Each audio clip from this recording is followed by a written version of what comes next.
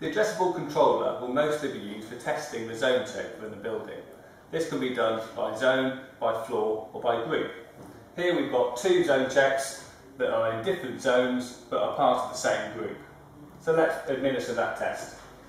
Into the control panel, activate flow switch test, enter. Once again, have to put in our pin code. It's saying relay activation, yes or no. But When we're doing this kind of a test, we normally don't want to involve the fire panel. So I'm going to say no in this instance.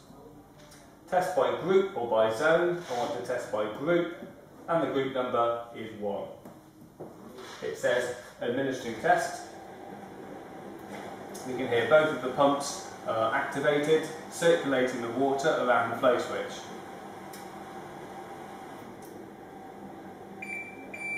Okay, so that's one of the zone tests completed.